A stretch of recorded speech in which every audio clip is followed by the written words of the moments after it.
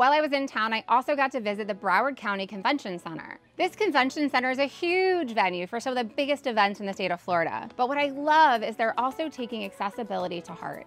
They've added a new hidden disabilities program, which is the Sunflower Program. You can wear a little sunflower that designates that you have some type of hidden disability. So Trojan, we're here at the Broward County Convention Center. We're in this space that obviously does not look like a convention center.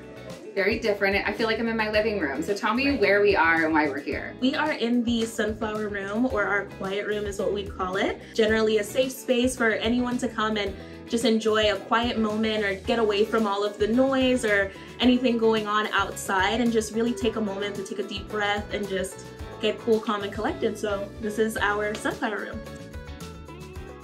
So it's great for anyone with invisible disabilities, but it's also really good for, you said, expectant mothers, um, people who might need to take a moment of prayer, anything that fits that quiet space. Absolutely. So this is a multi-purpose room. Um, it's not only for those with hidden disabilities. Of course, a mother's room as well if they need a private space to go ahead and breastfeed or, or nurse their child or just take a moment to calm their child down how we facilitate the um, Hidden Disability Sunflower Program is we have a lanyard, or I should say different items that we can wear to identify. And so we have um, a wristband as well. We have different pins and um, of course the lanyard as well.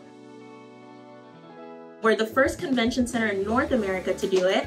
Um, however, it did start overseas in Europe and then it kind of made its way into America and now it's here in Fort Lauderdale. So we're really excited to be the first ones.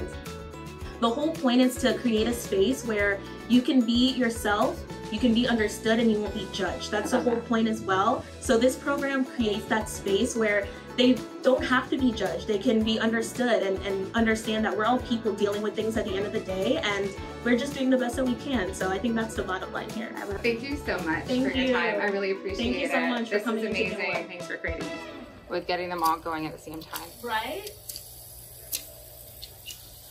I might just stay in here all day.